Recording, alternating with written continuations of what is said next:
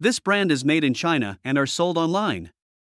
All of their units use a single hose, which means that conditioned air from the room is constantly being exhausted to the outside and has to be replaced and conditioned, which results in lower overall efficiency. They use self evaporating technology to minimize the need to empty a condensate bucket, but they only have a basic washable filter, which does not do much to improve the air quality in the room.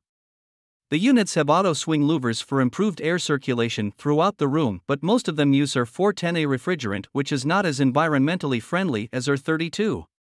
The QPWA models are for cooling only, have three fan speeds, and are Wi Fi enabled to work with their app.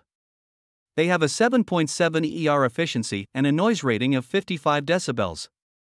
The QPCA models are basically the same as the QPWA models, except they do not have Wi Fi capability. The QPFA units are for cooling only but use more earth friendly R32 refrigerant.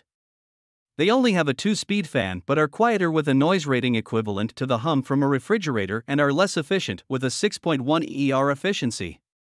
The QPSA units have a 7.6 ER efficiency and provide heating as well as cooling, but they use R410A refrigerant.